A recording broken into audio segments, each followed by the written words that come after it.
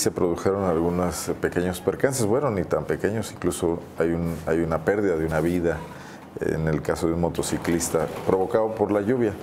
Pero también nos llama la atención que el flamante eje metropolitano, recién estrenado, eh, la vía de salida alterna de León, tan presumida por eh, pues autoridades estatales y municipales, registró encharcamientos de cierta magnitud, subió el agua bastante.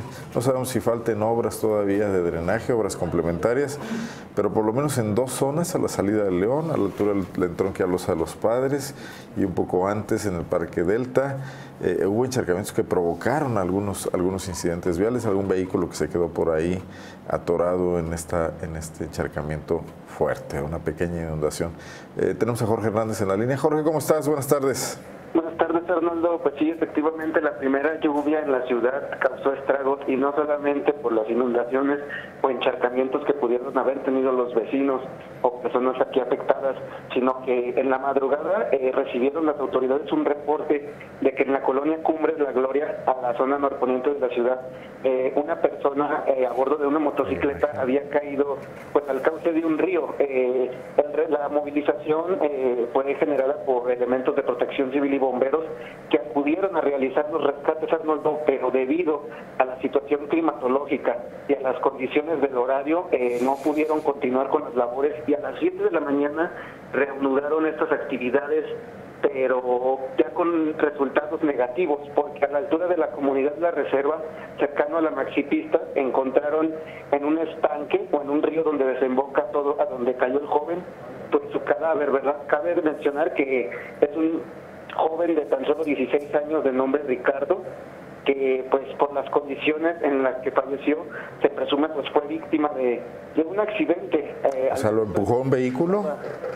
Sí, el joven se, rescató el vehículo también sacando en una zona de, del río que desemboca Arnoldo, una motocicleta, y pues más tarde se, localizó el joven eh, que fue trasladado. Pero, pero ¿pudo, ¿pudo haber sido arrojado por otro vehículo o él se accidentó solo?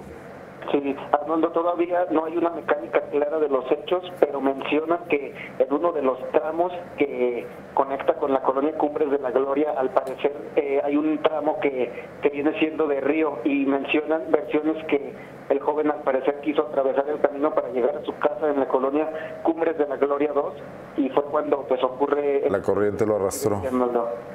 Subió mucho la corriente en los ríos y arroyos de la ciudad. Jorge, ¿qué, qué mediciones hay?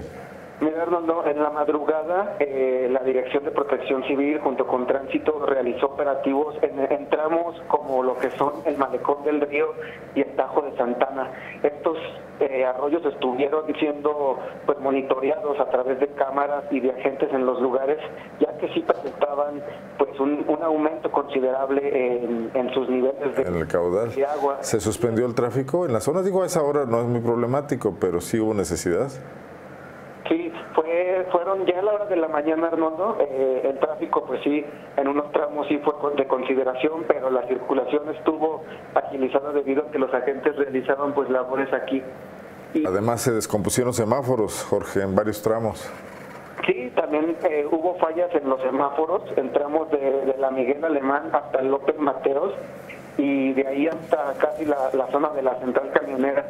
Eh, también por las obras que se generan acá en la altura del Boulevard Juan Alonso de Torres y Miguel Hidalgo, hasta casi lo que viene siendo el Boulevard Morelos, eh, también hubo, pues eh, los trabajadores tuvieron que realizar labores extras, Arnoldo, por los espacios que construyen en el pavimento, evidentemente se estaban llenos de agua. Y esto fue solo alguno de las acciones que pudimos observar, Arnoldo, porque en la situación que nos reportaron en el eje metropolitano, eh, recién inaugurado, por cierto, en este tramo que va del Boulevard Delta a la luz del Hospital Pediátrico a la colonia Villas de San Juan, Arnoldo, eh, pudimos constatar que las, las alcantarillas estaban tapadas con ramas, basura e incluso hasta con lodo, un lodo pues que se genera de, la, de la banqueta. De la propia obra quizás, del desplazamiento del de la propia obra porque a pesar de que el Boulevard ese metropolitano tiene una distancia de 15 metros a sus costados, eh, la tierra fue que, se hizo lodo se cayó hacia, hacia el primer carril y esto era un riesgo, Arnoldo, tanto para conductores eh, y como automovilistas, porque pues el primer carril es el de la baja circulación y los demás automovilistas y motociclistas circulaban por el medio, Arnoldo.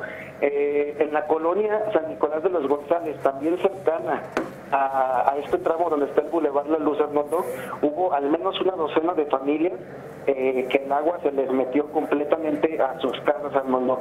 Eh, déjame mencionarte que estas personas eh, son personas de bajos recursos, Arnoldo, cuyas casas pues están prácticamente construidas con ladrillos y cartón, madera, y pues estas personas dijeron que que a pesar de ser la primera lluvia, Arnoldo, eh, no saben qué vayan a hacer hoy, porque ya incluso el clima ya está pronosticado como lluvias en la tarde. Y pues estas personas no, no, no al menos no estaban aquí atendiéndolos, pero durante este recorrido, Arnoldo, eh, llegaron funcionarios de la Dirección de, Desarrollo Rural que informaron pues a, a Zona Franca que iban a canalizar los reportes a a la Dirección de Obras Públicas, pese a que se encontraban pues en un área urbana, Arnoldo, pues los funcionarios pues nos aseguraron que iban a, canalizar estos reportes. Muy bien. ¿Casas no se vieron invadidas por el agua en ninguna zona de la ciudad, rural o urbana? No, mira Arnoldo, hasta ahorita la, la, Secretaría de Seguridad Pública no ha reportado daños, así de que se haya metido el agua a, a los domicilios. Pero mira, de acuerdo al último reporte, eh, sí reportaron eh, encharcamientos en vialidades, casas inundadas, inundadas y caídas de árboles, Arnoldo. Al menos 52 reportes de inundación en casa habitación, donde el nivel máximo alcanzó los 80 centímetros. En cinco casas, eh, 50 centímetros y en el resto, eh, los 10 centímetros. ¿Esto en qué zona? Este, te lo menciono, son en las colonias del norte y del norponiente de la ciudad, como los castillos, jardines del Moral. 80 centímetros ya, ya, hay pérdidas materiales, ¿eh? Sí, eh, Nuevo Amanecer, San Miguel, Ampliación San Francisco, Ibarrilla, Valle del Campestre, Pradera del Sol, San Isidro, entre otras colonias, Arnoldo. Correcto. Bueno, seguimos pendientes. La temporada, digo, sí, el temporal lluvioso va a continuar los próximos días y son las primeras lluvias fuertes. Había llovido en mayo, pero no con esta intensidad. Hay, además un ciclón en el Pacífico y amenaza más humedad en la zona, Jorge. Así es, Arnoldo, y sobre todo los niveles de los ríos y cauces que por mencionarte el del Malecón, el canal del Timoteo Lozano, el de las Mandarinas y el canal Delta contaban con el 100% de su capacidad. El 100%. Sí. Y, y, limpios los cauces, sobre todo en los arroyos, para, porque luego es el problema también, que la, la primera lluvia fuerte encuentra mucha basura en los, en los cauces de los arroyos. Así es, Fernando, y pues también mencionar que ya aquí autoridades como Acción Público desde hace un mes antes habían realizado pues limpieza, pero no en todos los arroyos de la ciudad, o creo que tampoco en estas zonas contempladas como el Boulevard eh, recién inaugurado el eje metropolitano, pues sí son lugares donde pues deben de... Hay algunos vehículos que se quedaron en, la zona del eje metropolitano, ¿eh? no, no, no, vehículos bajos y el encharcamiento se subió a varios centímetros, digo, medio metro o más. Jorge, estamos pendientes. Sale, lo que estamos al pendiente de cualquier situación. Muchas gracias, buenas tardes. Buenas tardes.